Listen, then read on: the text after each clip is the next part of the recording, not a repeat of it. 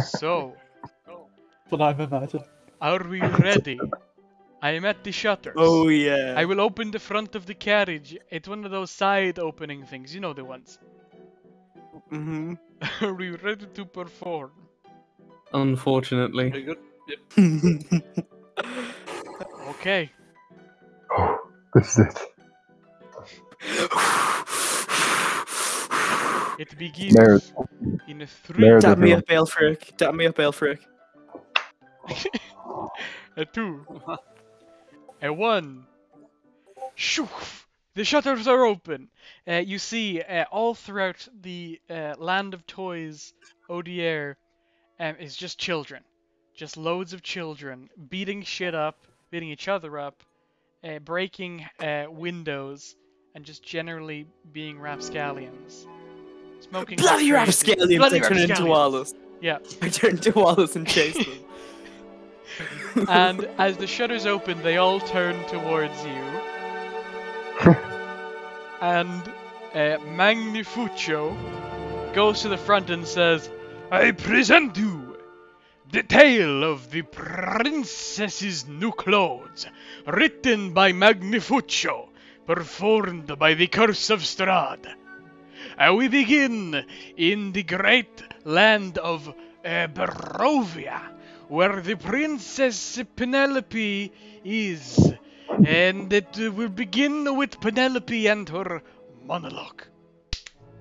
And he walks off and motions for Penelope to begin and holds up a cue card with words on it.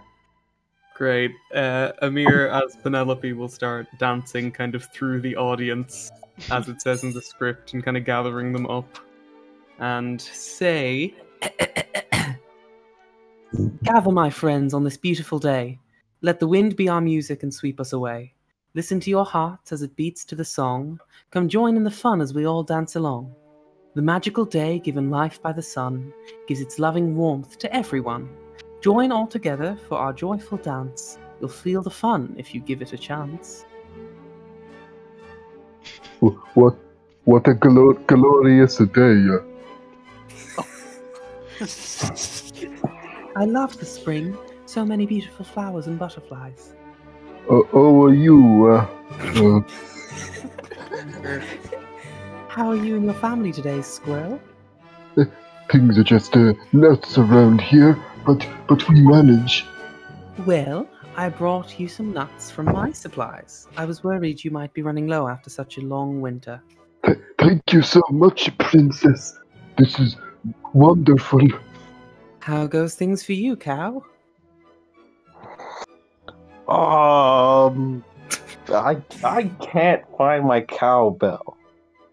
Anyway, I'm late for band practice. They said they need more cowbell. Little cowbell to get things moving. Oh, I Oh, I just love your cheesy jokes. Ring a ding ding. Here it is. I'm saved. Thank you so much, princess. My pleasure. Bye bye. I'm shocked he could read that. Where did Unicorn go?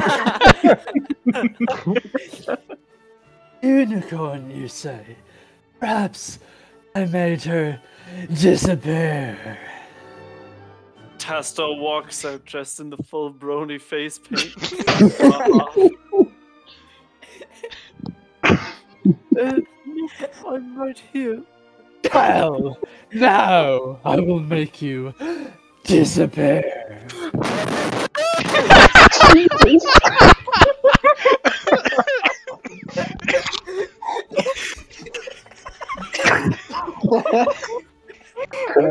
Scared the shit out of me.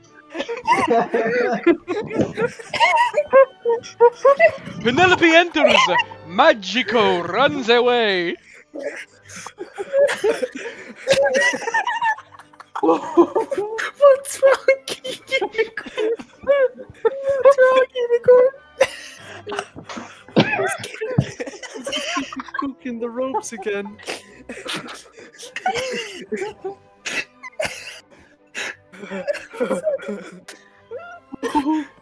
The weird wizard.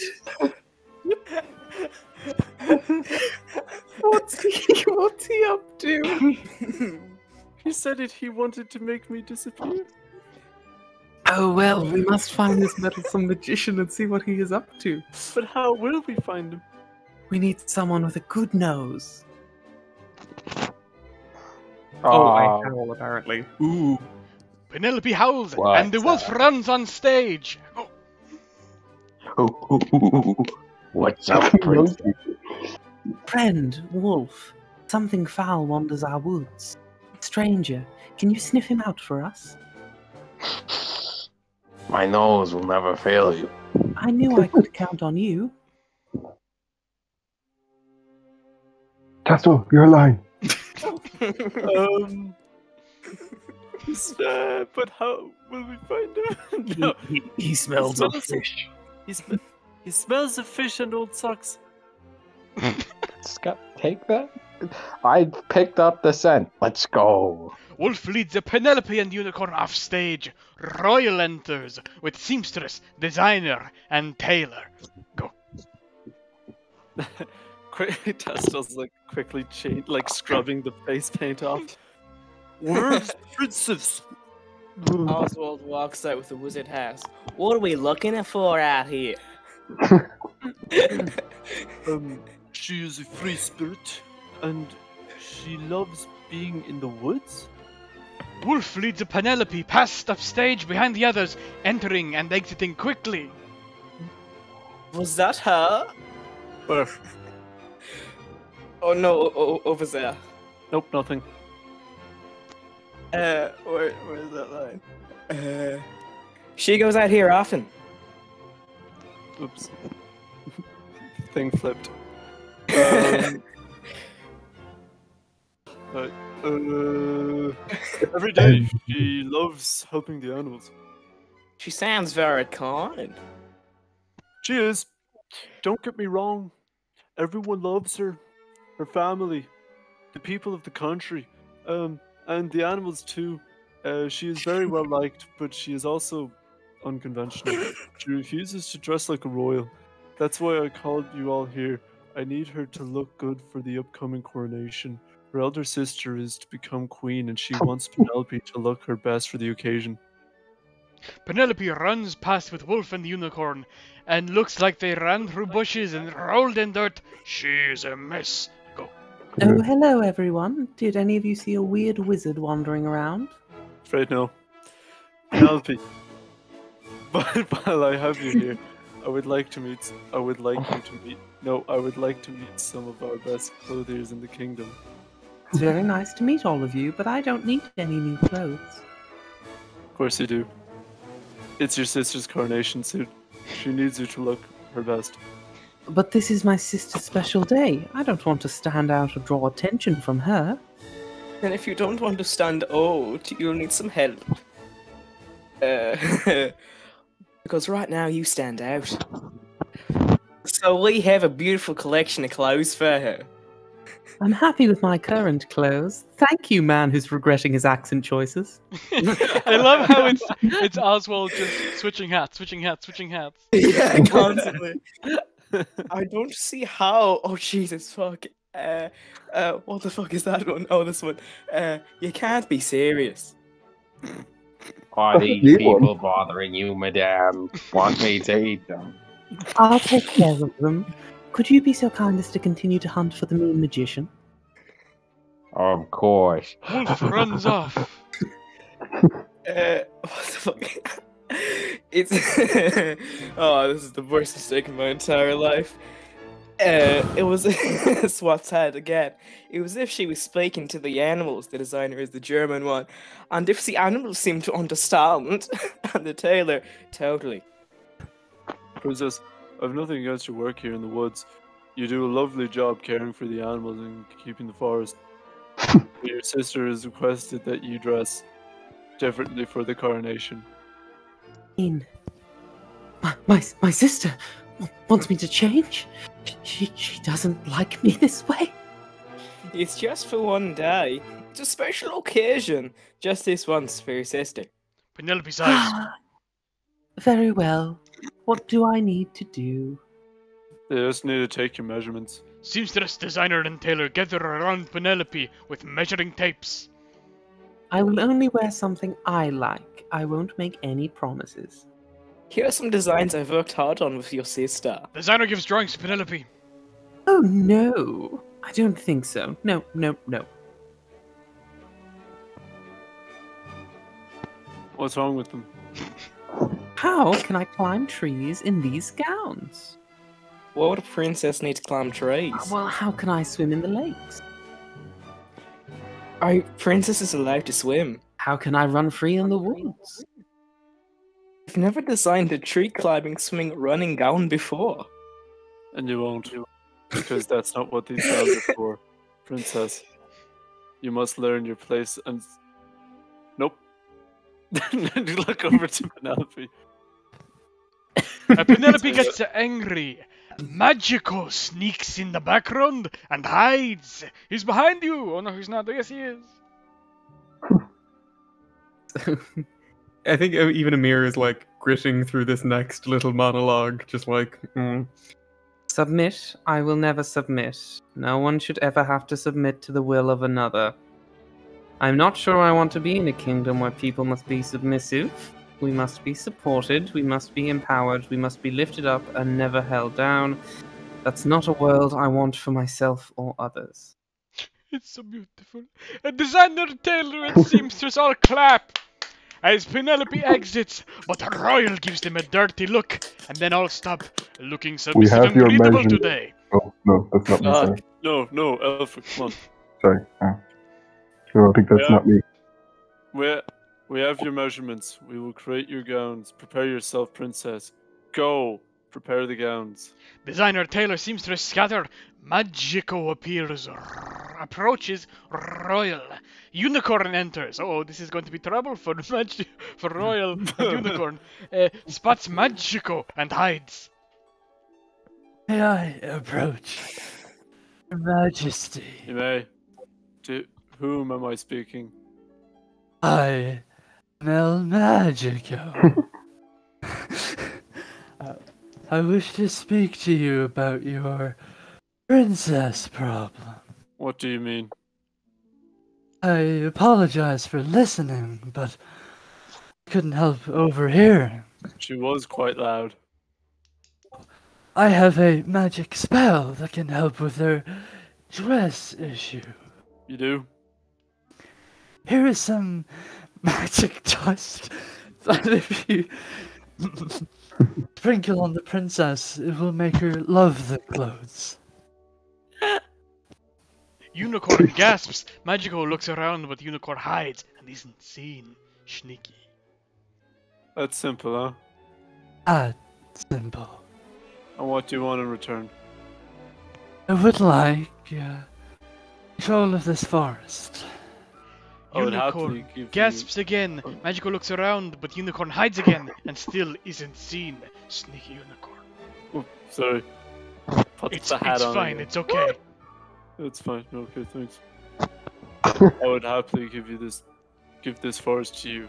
It's nothing but a burden on the family. Only Princess Penelope cares anything for this place, but it's filled with vermin. I would gladly give it to you. And here is your magic dust. I will prepare the documents that will give you the rights to, to the forest. Magico gives Royal the dust, and Royal exits. Magico laughs evilly. Just want to mention, as he does, he reaches in his cloak and pulls out like a pa- plastic baggie um, of a unspecified white powder. Um, but that's that's the visual. Wonderful. Soon this forest will be mine, and I will plow it to the ground for a ye old shopping village. Full of shops with things to drink, and shops with things to eat, and shops with gowns, and shops with hats, and shops with things that no one needs but want to buy anyway. Magico laughs evilly and exits. Unicorn comes out of hiding. Oh no! I must tell Princess Penelope! Princess, Princess, Princess! Unicorn runs back and forth on the stage yelling Princess until Penelope returns. Other animals gather too. What's the matter, friend unicorn? I found that wacky wizard, and he is up to no good. He has an evil plan. He wants to get rid of the forest and build a shopping village. Oh no! What do we do? You can eat him. Ew! I don't eat people. What can we do about that bully? He's a going to milk us all for all we're worth. He said he was going up to have a shop with. Wait. He said he was going to have a shop with things people don't want to buy, but they buy anyway. That's evil. It's an utter disaster. And he made a deal with some person from the castle. Who? That one over there, going this way. I The animals scatter, except cow. y'all want me to ring their bell? No, that's okay. Thank you, though. No problem. I'll be uh close by if you need me. Cow exits and the royal enters. I've been looking for you, princess. We've much to discuss. Do. I hope you've come to your senses. I must ask you about the forest. I've heard from the animals. Nonsense. Animals do not speak. They do to me. Enough. We must find you again. Uh, seamstress, tailor, and designer enter with dress. Animals like cow and unicorn watch. Creepy.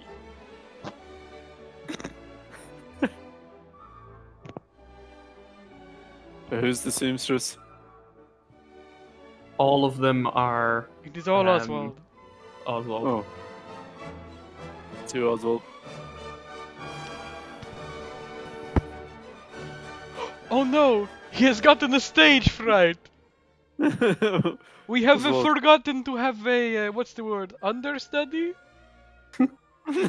Well, seamstress is Australian. Taylor is Irish, and designer is German. No, Taylor Yeah. is German, and designer is Irish. no, no, no. Ta- no, no. Taylor was Irish. Oh, okay. So designer's German. It does Yeah, not yeah. matter. They are all about to be Italian.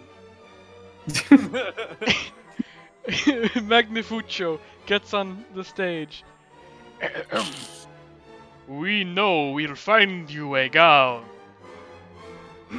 we have many to pick from. Uh, uh, we know we will find you something special. Uh, you'll love these.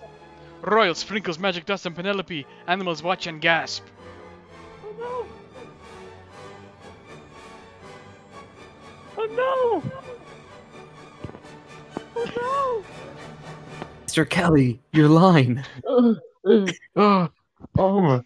What, what is it? It's just What? no! That's magic dust. What what's gonna happen? Penelope sees dresses, jumps up and down in excitement. She squeals in delight. I love them all. Seems Seamstress, tailor, and designer are happy. Penelope puts gown on. I love this one. It's perfect. Wonderful. This one is great too. Penelope puts on another dress. Oh, shouldn't you take off the other? Oh, I want them both. We really should. I want that one too. Penelope puts on another gown. Wait! Please don't! Penelope puts on another. Give me more dresses. Penelope runs off stage, dragging seamstress and designer with Taylor following. That worked a little too well. Royal runs after too. Unicorn comes out to fighting with cow and other animals. This is terrible. That really sours my cum. Jesus. Where's your What can we do? He does what to your what now? Penelope runs across the stage with another dress over the others. Seamstress, designer, and tailor are ch- all chasing after her, and they exit. Darling, that says cream. Cream. We need to find it.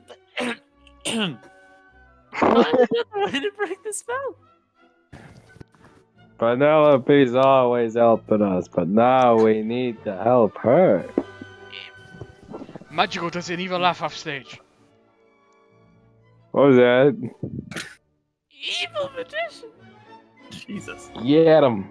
You change your voice. There is no bar that is being set here. A Magico enters. Now the forest will be mine. Not if we don't stop you first. I think Toad needs a lemsip. Again, Penelope runs across stage with another with another dress over the others. Seamstress, designer, and tailor all chase after her as they exit. Royal enters like she has been running after them but stops.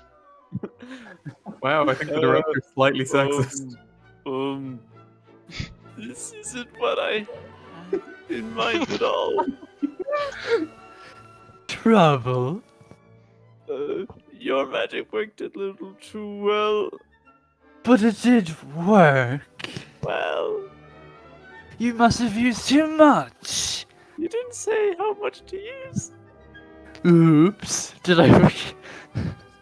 Did I forget to tell you the amount? I s- What's that in the script? It's I canon, to not- do the among. That doesn't even make sense. It means amount, but they said among. Of course they did. I swear I told you to just use a pinch, not the whole thing. And again, Penelope runs across the stage with another dress over the others. Seamstress, designer, and tailor all chase after her as they exit. Royal enters like she has been running after them, but stops. How do we stop this? Give me the key to the forest and I will help you undo the spell. Fine, I have the papers right here. Um, Tasta looks around. Hmm. Do something. but I'm scared. I'll do something. Cow runs and grabs papers from Royal before Magico can get it and runs away. Hey, that's mine. No, it's not. Forest belongs to everyone. Oh no, he looks mad. Run. Magico chases after Cow. Penelope runs across the stage with Seamstress, Designer, and Taylor all chasing her. Royal and Animal joins the chaotic Scooby Doo style. Who the fuck is Scooby Doo? Join the chaotic Scooby Doo style chase scene. Eventually, Magico crashes into Penelope and everyone stops. Unicorn jumps on Magico. I just invented the Scooby Doo.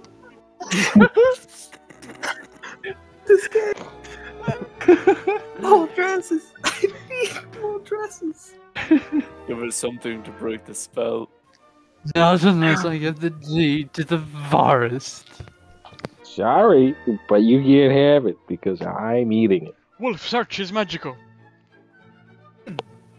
She will stay like this forever. Dresses, please. Wolf finds bottle and holds it up. I found it. I found the antidote to the spell. Give it to Penelope. Wolf opens bottle and sprinkles on Penelope. No! Penelope shakes her head and starts mo- removing dresses. What's going on? You were under a terrible spell made by the Wicked Wizard that made you want to put on all the dresses. Dresses. I Dresses. can't. I can't put my arms down. We'll help. He's not held back. So be it. Don't rip them. That's the uh, only way out.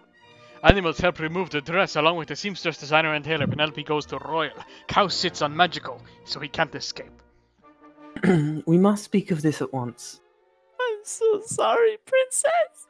How dare you use magic on me? I was getting desperate. Your sister ordered me to do something about your clothes. I had no choice. As this role has been going on, Amir has clearly been getting more and more pissed off with the script and some clear syncrasies with her own life. But anyway, Yeah, yeah, yeah. Oh fuck, this is such a chunk. Okay. You always have a choice. We always have a choice between right and wrong. I can't but I, I can't believe you all are trying to change me into someone I'm not. That's so unfair of you and my sister. Mhm. Why am I not good enough the way I am? I'm happy with my life. That should be good enough. This is getting real, like Lin Manuel Miranda, real quick. Please don't force me to be something I'm not. A princess shouldn't have to wear fancy new clothes to be accepted or included or important. What's the point of those gaudy gowns anyway? Is it so she can prove she is better than everyone, or show she is richer? And do we really need royal families too? Do we need kings and queens? Oh god. Do we really need princesses? this is what? All. Did you Dude, have this script? What can I say? I'm a communist. A socialist. I would say we don't. We should all be equal, and instead of punishing those who have nothing, punish those who take too much. What we need is a leader, a leader who cares about all of us and wants to lift us up and make life better for all the humans and animals that live here. Every life matters, hmm. no matter how oh, big no. or small. I no. Oh, cheer. And seamstress designer and tailor clap. Yay. Magico struggles under cow. Royal Yay. bows down. I'm so fucking sorry. Okay. So am I. I only asked you. to- Right. Forgive me, Your Highness. Oh, ah, forgive me. I forgive you, and I ask you to forgive me Give you what? for what I just said. For making your job more difficult, I should really speak to my sister directly. Did you like that? Let's go, everyone. It's time I spoke to my sister and our future queen. I will speak to her about how important this forest is to all of us, and I do my best, and I do my best to cooperate for my sister's special day. Okay. Wonderful princess. She will be most thankful.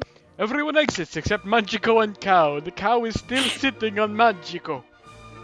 Wait, everyone. I'm still stuck into this bovine. Oh, did you want me to move? Yes. You gotta ask nicely. Oh, fuck off. oh, no, but not until you speak to me with kind of words. You need to learn some manners. Don't want good manners. No, I'm, I'm not making a cow joke. Move, move, or I'll move, or I'll turn you into a hamburger. What's a hamburger? That That you genuinely doesn't know. It's made out of cows. I thought ham was from pigs. There's no ham in a hamburger. Then why is it called a hamburger? Don't know. Just let me go. Not until you give me an answer. I don't have an answer. Then I'm not moving. Somebody help me. Lights fade such to black strange during the above exchange. Pascal And is fucking the laughing. He's rolling on the floor right now. I think Amir's Wow. having a mild panic attack off the stage right. Ladies and gentlemen, that was The Princess's New Clothes, presented by the Theatre of Mangiafuoco, uh, directed and written by Mangiafuoco, and starred in by the Curse of Strahd. In the role of Penelope, we had Amir, Magico is Milo, uh, the cow and the wolf were played by Darling, um, the butterfly and the squirrel were Aelfric Sondheim, and the unicorn and the royal were Tastel Faulkner, and the seamstress designer and tailor were played by Oswald and his understudy Mangiafuoco. We thank you very much. Please leave all coins at the front and exit. Fr- just get out of the way. Thank you. thank you very much. I gotta say, guys, I don't know if this had very good representation. I mean, wizards aren't all evil, just to let you know. Like, Not a wizard. Amir starts to think that maybe the director wrote this and knows too much about her and is just sharpening blades in the back of it. and just starting to.